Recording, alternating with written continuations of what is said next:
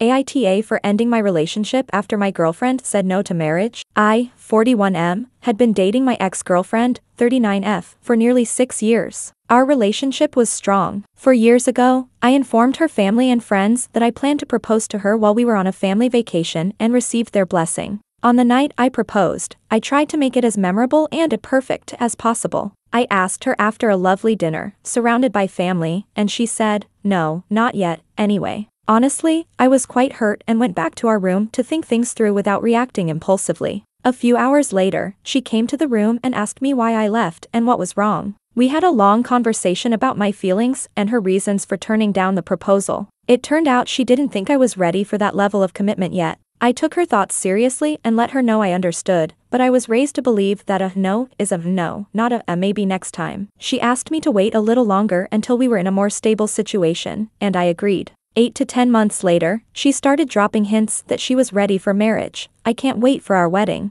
Our wedding is going to be spectacular. I'm so looking forward to my dad walking me down the aisle, and so on. A little over a year after my first proposal, I decided to try again. This time, it was just the two of us on a wonderful date night. When I opened the ring box, she became very quiet and once again said, no, not yet, maybe later. After this second rejection, I stopped feeling the same way about her. It sounds cold, but it's the truth. When we returned home, I slept in the guest bedroom and spent the night reflecting on our relationship. The next morning, she asked why I didn't sleep in our bedroom, and I told her the truth. I explained that I thought it was time to end the relationship. I let her know that I take marriage very seriously, and I didn't want to be strung along any longer. For me, this no was the final one. I gave her a month to find a new place to live, but since then, I've been receiving texts and emails from her friends and family, calling me heartless and telling me to give her more time, calling me insensitive for ending things. My friends, however, have been supportive and understand why I made the decision.